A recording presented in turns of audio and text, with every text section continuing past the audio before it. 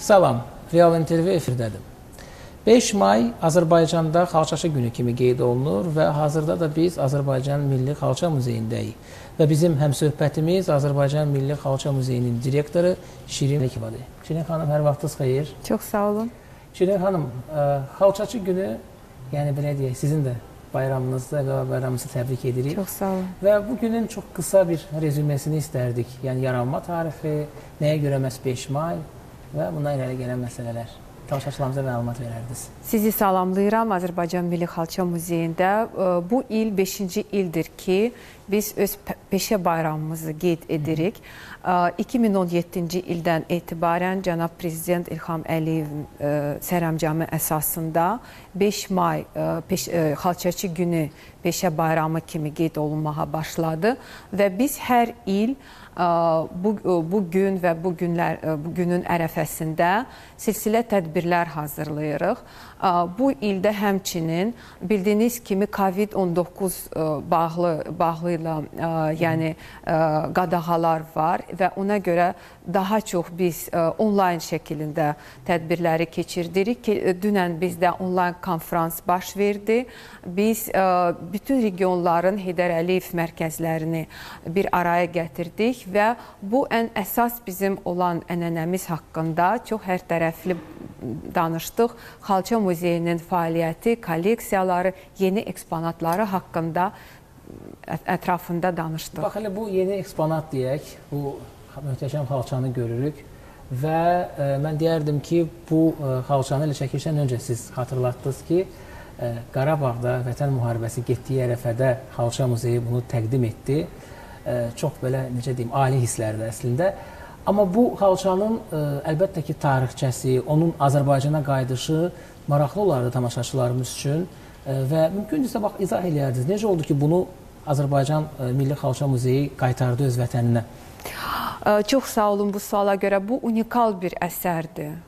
Bu Qarabağın 18-ci əsrə aid Bəli. olan xalçasıdır və siz bilirsiniz ki, Qarabağda hələ Səfəvi dövr dövründən çox möhtəşəm xalçalar toxunulurdu və onların sırasında ən ə, geniş yayılan, yəni ən populyar olan əjdahalı xalçalardır və bu xalça əjdahalı xalçaların son ə, evolyusiya həddini ə, göstərir və bütün dünyada bu xalça çox gözəl tanınır. Məhz eksponat kimi illərlə ə, bu xalça bir ə, erməninin ə, şəxsi kolleksiyasında Aha, saxlanılırdı. Aram Ceriyan və ə, keçən ə, əsrin kataloqlarında, xaricdə çıxan kataloqlarında bu xalça Ceriyan adı ilə çap olunmuşdu. Qarabağ xalçası kimi. Və bizim üçün bu çox vacib olmuşdur ki, bu xalçanı biz Azərbaycana qaytaraq, onun atribusiyasını düzgün verək və demək lazımdır ki, bu xalça 90-cı illərin sonunda Sotbis Hərac evində satılıb və son illər 15 ildən artıqdır ki, bir İtaliyaçı kolleksionerdə saxlanılırdı. Və biz 2 ildən çox məqsədə yönlü işlər aparmışıq ki, bu xalçanı əldə edək və keçən il bizim Azərbaycanlı xeyriyyətçi bizə dəstək etdi ki, biz bu xalçanı alaq və qaytaraq. Və bildiyiniz kimi keçən il bizim hamımız üçün eyni zamanda çətin olmuşdu Covid ilə bağlı, amma bizim tariximiz üçün ən önəmli il olmuşdu. Aha. Yəni biz qalib gəldik və 44 gün vətən müharibəsində bu xalçanı biz sərgilədik. Onun böyük təqdimatını o zaman biz keçirə bilmədik. Lakin bizim üçün, muzeyimiz üçün bu bir simvol oldu ki, Qarabağ ə, ermənilərdən azad olundu və bu Qarabağ xalçanı, unikal xalçanı biz qaytardıq və muzeydə sərgilədik. Aha. Və həmin günü bu gün ə, xalçaçı günündə biz bu unikal əsəri ə, geniş ə, kütləyə təqdim etmək istəyərdik. Doğrudan da çox möhtəşəm bir görüntüdür. Şimdi xanım, ümumiyyətlə siz qeyd elədiniz, bax elə erməni faktorunu da. Ə, məlum oldu ki, ermənilər Qarabağdan, yəni İrəvandan götürək ona qədər Azərbaycanın maddi mədəni irsini təbii ki, elə son 30 ildə talayıblar. Və xalçalar xüsusi diqqət mərkəzində oldu ki, Azərbaycan xalçalarının aqibəti necədir, hardadılar, satılıblar bəlkə auksionlarda və UNESCO-ya müraciətlər oldu Mədəniyyət Nazirliyi tərəfindən, sizin qurum tərəfindən. E, ha, ümumiyyətlə say varmı ki, məsəl üçün neçə xalça bu günə qədər ə, uğurlanıb Qarabağdan. Yəni bir reyestr vardı da, yəqin ki, ə, işğala qədər. Və ümumiyyətlə hansısa siz məsələn gəzirsiniz xarici ölkələrdə çox olursunuz. Azərbaycan xalçalarını erməni adı ilə görürsüzmü, görmüsünüzmü? Bax bu barədə istərdik tamaşaçılarımıza ətraflı məlumat verəsiniz. Çünki bu ə, çox vacib bir məsələdir bu gün. Xüsusilə xalçaçı günündə bu məsələnin qabardılması daha ə, prioritetdir. Bəli, ə, əfsuslar olsun ki, ə, işğal zamanı, yəni 30 il ə, davam elən ə, olunan zaman 22 muzey Qarabağda fəaliyyət göstərən 22 muzey tamamilə yer üzündən silinmişdi. Aha. Və ə, orada çox unikal eksponatlar saxlanılırdı və onların sırasında xalçalar da. Demək lazımdır ki, bu 22 e, muzeylərdən Xalça muzeyinin filialı da orada olmuşdu. Aha. Lakin e, Xalça muzeyinin eksponatları demək olar ki, tam şəkildə qaytarılıb Azərbaycana. Həm həmin e, işğal zamanı, işğaldan öncə Şuşadan köçürülüb. Köçürülüb, bəli. Lakin digər muzeylərin eksponatları çox təəssüflər olsun ki, onların taleyi indiyə qədər bilinmir.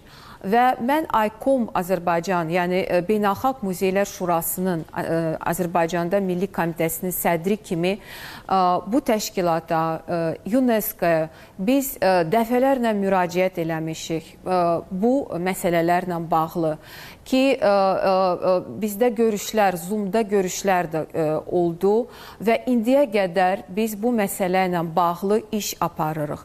Yəni restitusiya məsələsi bu ən vacib məsələlərdən biridir. Və ə, onu qaldırmaq ki, bizim ə, eksponatların taleyi onlar harda indi saxlanılır, hansı adla ə, saxlanılır? Hansı hərac evlərdən satılıbmı? Kimin şəxsi kolleksiyalarında saxlanılır və ya Ermənistanın muzeylərində saxlanılır? Yəni onları müəyyən eləmək və restitusiya məsələsini qaldırmaq ki, onlar bizə bunları qaytar qaytarsınlar.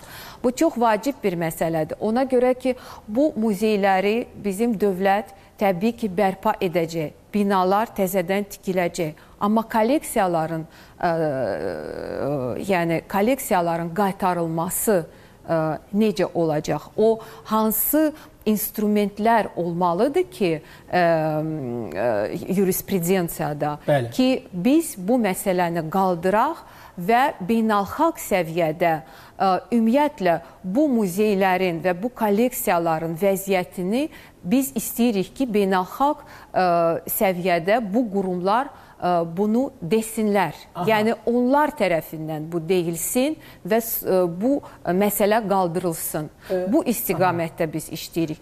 Mən sizə deyim ki, çox çətindir.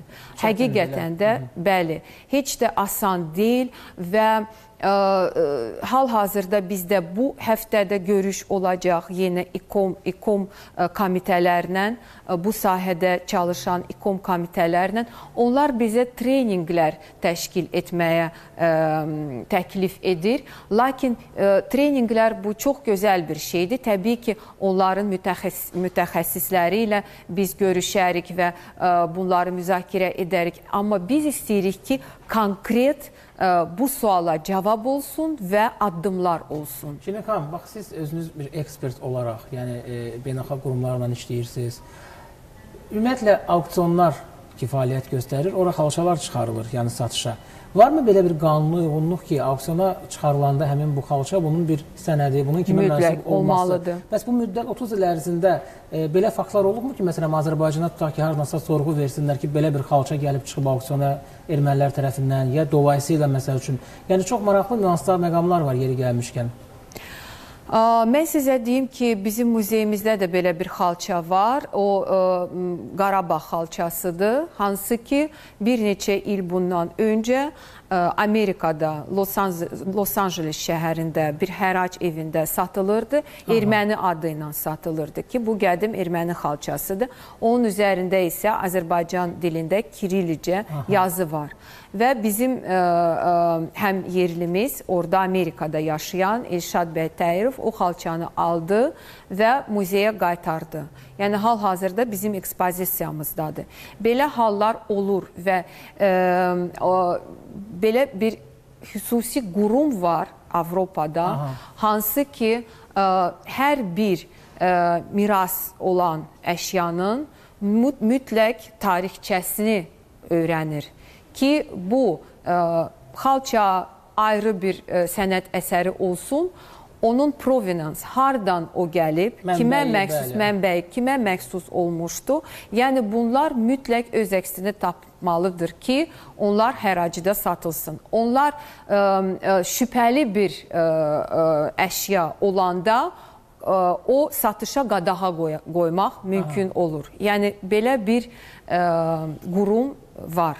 Yəni güman edirik ki, bundan da sonra, yəni sırf sizin apardığınız bu işlər bizə imkan verəcək ki, məhz auksionlar gələcəkdə bu cür halların qarşısını alsınlar və Azərbaycan tərəfindən mütəmadi şəkildə məlumatlar versinlər.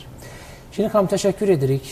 Bu e, sizin üçün xoş olan bir gündə, peşə günündə e, ən əsası vacib məqamları bizimlə və xalqımızla bölüşdünüz və sizə işlərinizdə uğurlar arzu edirik. Gününüz mübarək olsun deyirik. Çox sağ olun, təşəkkür edirəm.